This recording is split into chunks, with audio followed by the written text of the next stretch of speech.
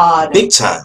of, of just oh look what they're doing they were sort of very low key and you know they were just denigrating especially denigrating sherry kane um, and trying hilder was suggesting that he couldn't even remember her real name Is He was calling her Shelley? Shelly Kane. he did that in the past too Yeah. and he insulted her appearance oh and then it got even worse then he starts talking about another woman who he did not name and trying to tie her to Sherry Kane. This woman is not connected to Sherry Kane nor anything that Sherry Kane has done.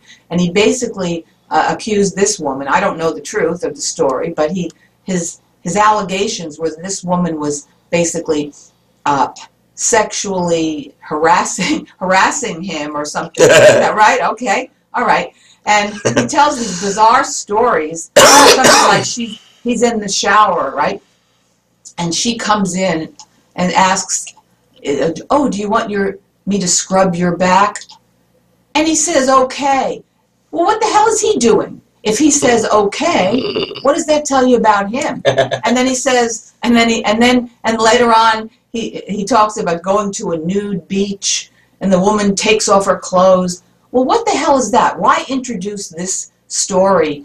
Uh, it just shows what a sleazebag he is, whatever the woman is. Okay? And why connect that to Sherry Kane and Len Horowitz? It's got nothing, absolutely nothing to do with the facts of the case. Right. The whole thing, the video, which is an hour long, is just like it's blithering. It's just, it just, there's no, uh, you know, it's just an attack. Like you said, it's a hit piece. Yes, it was. And let, let's bring another element. This is really interesting, Howard. They mention a number of people in this video as good guys. And I'm going to tell you, I'm going to tell you the names that I do remember. And of course, the, you know, except for one name, they're all bad guys. And the one name of the good guy is Bill Cooper. That's All right. All right. So now they're talking about Alex Jones is being attacked. True Ott is being attacked. Ted Gunderson, Anthony Hilder, Doug Millar. All right, and those are the, the names of the little cabal, the little club there. Then they bring in Bill Cooper. And of course, Anthony Hilder and, and True Ott both, you know, had a- an acquaintance at least with, with Bill Cooper. I don't know the details there, but they definitely named him as a good guy. Well, guess what, Howard? As you well Of know, course he's a good Alex Jones. guy. Well, Alex Jones is Alex not. Jones, ex- uh, Bill Cooper exposed Alex Jones That's in right. 2000, and don't tell me they're not aware of it. So how are you going to group in Bill Cooper and Alex Jones? They were adversaries from the beginning. That's right. From the beginning, okay? That's right. Just as I have been an adversary of Alex Jones from the beginning. And as I mentioned on the sabotage broadcast, Howard, that, you know, I had met Bill Cooper at the UFO conferences during the 80s that I used to attend on a press pass. Um, and of course, I was still inside then, but I was still working. I was still a journalist. And, uh, you know, I had interviewed Bill Cooper for my radio show, which I had in Greenwich at the time, Greenwich, Connecticut. And uh, so, yeah, I was, and I had some brief communications with him after that time, was like email, things like that. All right, so now they're trying to lump Bill Cooper, the hero, he is a hero, okay, in with Alex Jones. And they fail to mention, again, this adversarial relationship. One person, Bill Cooper, a truth teller, the other person, Alex Jones, a shill, a total shill, and somebody who's a fear monger. And of course, Alex Jones was a big supporter of Ted Gunderson, as we well know, John DeCamp. Well, I think it was. I think what happened was it's more like uh, you know where did he come from? Where did Alex Jones just Yeah. appear from? He came from this. All of his early videos, he all of Hilder's videos. That I saw Hilder's videos because of Alex Jones. They were on Alex Jones's website. Mhm. Hilder's videos and Gunderson's videos. They're can on tell his you where he came from, Howard. Where did he this come is from? my belief. Okay. This is my considered, let me put it this way, my considered professional opinion after investigating Alex Jones for at least a decade and a half, if not more, is Alex Jones came from Mockingbird, a CIA operation in which journalists are used in a counterintelligence program. And of course, I was involved in similar operations when I was inside. Right. I'm certainly not involved now. Of course. Uh, if I if I were, I wouldn't be in the position that I am in right now, where I've just lost everything, and my name is mud. Well, Basically, well th- that's the other thing. Well, you see, there's there are many of us that speak the truth. A lot of us, and and many people know Barbara that that you are telling the truth, and that you and the people that support you are also people like Chris Freedom Flowers knew about you. We we knew about I knew about you before I met you. So we knew about the targets, but I'll tell you, it's deceptive because the people out there that uh, um, we, you know, as a collective have looked looked up to, like Alex Jones, because the psychology of this deception is that, well, look, everybody else is lying. He's telling the truth. Nobody's telling. He's telling the truth. He's telling what they're really doing. He's telling about the vaccines. He's talking about the food and the GMO. He's the truth of the and- matter and- is, Howard, that Alex Jones has lots of money. He's in with the bad guys. He's in with the cops. He's in with all these publicity stunts that he Yeah. pulls. He's arrested. No, no, no. He was in there from the beginning, and this is these are publicity Staged stunts. events, yeah. And actually, we talked about this on the sabotage broadcast. Yes, we did. That the fact that I was ripped off the air, un, unplugged by Alex Jones in 2003. That's 10 years ago now. 2003, uh, because I was on another program, the Jeremy Floyd Show, exposing Ted Gunderson and John DeCamp. On and GCN, Alex that's Jones, right. That GCN. Alex Jones freaked out. He threatened Jeremy Floyd. He pulled the plug when Jeremy refused to put me off the air. And he was censoring, obviously, censoring the truth. And guess what? He continually had Ted Gunderson on the air, Alex Jones, right up to the end. Okay? That's right. The last interview was from a hospital room with Ted Gunderson. All right? And he also is a big, you know, supporter of John DeCamp. John DeCamp is an American, a real American hero. John DeCamp is a perp, okay? He was involved in CIA black operations. He was involved in Phoenix, Operation Phoenix, and his so-called Franklin cover-up was nothing more than a cover-up of a cover-up with Ted Gunderson and others, which I exposed. Do you know how dangerous that is, Howard? oh yes. it's very, very dangerous because they thought they had it covered. Well, it's the satanic ritual, yes. child murders, and the chi- the whole these children that are abducted and for, for satanic ritual abuse.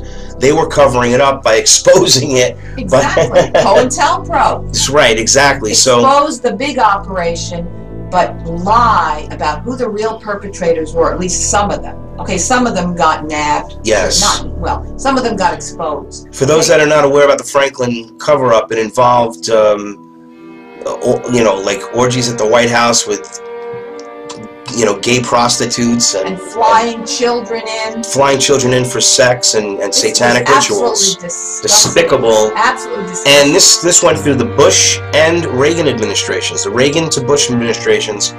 And uh, again, these guys, this skull and bones, the secret societies are, are behind uh, this, and it truly is a secret shadow government with shadow worlds. Why do you think the Bilderberg group meets in silence? Now they now that that's out, they have to cover it up and make a put up another front. and there's They continuously put fronts about, against the truth. There's something else here operating here too, Howard. Yes. I think it's really important that we mention this, and that's the MK Ultra operation. As you well know, I'm a survivor of MK Ultra, as is my sister Irene, and these bastards from CIA had us from childhood. Right, this was this operation was meant to create quote the perfect spy during the Cold War era. It wasn't about sex slaves. That was the sideshow called Monarch. And that's, guess who's promoting? We all know it's Fritz Springmeier, Mark Phillips, all these people. These people, what they have come forward with. It's not that there's no truth to some of what they have presented. It's that there is a sideshow happening here so that the real purpose of MK Ultra, the deadly purpose of MK Ultra, is hidden behind this circus. Circus. And, you know, as you know, Howard, I've exposed Fritz Springmeier, not to the extent that I could have so far. I haven't spent a lot of time on that. I do have the documents. Um, and of course I've exposed Mark Phillips. And all these people, again, are in the club. Ted Gunderson comes up again, John DeCamp, Mark Phillips, Fritz Springmeier, Alex Jones. Yeah, they all they're all in the same They're club. all in it together. Anthony J. Hilder, That's right. True Ott, That's right. That's who right. he supposedly. The, the interesting thing is how how Hilder stated in that video. To my recollection, or to my knowledge, Yeah. I, I've never met. To my recollection. To my recollection, I've never. I've never met True Ott. Yeah, right. As if you never heard of True Ott or something like that, and that's impossible. Another thing I would like to bring up is some of the whack jobs that uh, Art is actually promoting. There, there's some whack job, literal, a, a whack job, a crazy woman named Francine Kelly. And you know, this woman came out of nowhere and started slinging my name around, attacking me, calling me all kinds of names, making these accusations. And he, he, this woman, this Francine Kelly, claims to be an MK Ultra uh, Survivor. intelligence asset, and they don't have. Look, eh, CIA Monarch, Monarch intelligence asset. It's absolute nonsense. There's no Monarch. Was never a CIA operation. I'll repeat that. Never a CIA operation. Never a sub-project of MK Ultra. All right. I'm not saying there's no such thing going on, but it's not. It's not Monarch. They're saying Monarch is the cover name. no, Monarch is not the cover name. Monarch is a false Yeah, that's name attributed to a CIA operative. that's what I mean. Yeah. So happened. fall. Yeah, it's Yeah. like it's just a it's, it's just a, a- you know they're just using it as a as a red herring as far as the name. Well, that's right. That's right. And yet, all of these people, you look, Fritz Springmeier, Mark Phillips, True Ott, Monarch, Monarch, Monarch.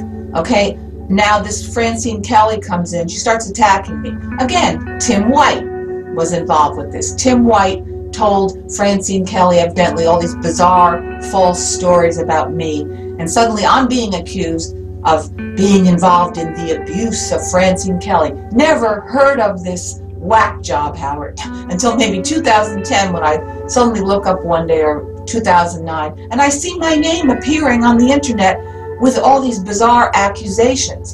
So I exposed this woman in several reports. I issued a directive for her to cease and desist invading my privacy. She was like a stalker, like Tim White. Wow. All right? And this is who True Ott and Doug Millar are promoting. Uh, just another whack job claiming to be CIA monarch. Mhm. And this is all just absolute bullshit. In, in, in, in no other words could I really describe it. Okay? It's just utter nonsense. Wow. You see what I'm saying here? These these characters are uh, they they're operating in a web of lies, just an absolute web of lies, false information, false accusations, uh, false accusations against people that are well known in order to discredit those individuals. And that certainly includes Len Horowitz and, and Sherry Kane, uh, who have done great work, I must say, in exposing this this this uh, cabal. Okay, Len Horowitz. I can tell you this: that Len Horowitz, I believe, was unaware of this up until around 2007 when he became targeted. Okay, he didn't know. I don't think he knew why they put his name on a He was targeted- list. He was targeted because of the, of a of his book, um, Emerging Viruses, AIDS, and Ebola, because they even targeted him on a television show, one of those medical shows where it's interesting. He exposed this in a video where it's true. They said Horowitz murdered as if they wanted to kill him, you know, uh, on a headline of, the, of a newspaper in the television show. I'm trying to remember which uh, show it was, but it was in that time frame. In that Okay, well, what happened is, is as far as what I I knew about they wanted to kill him. that that They tried to kill Len him. Horowitz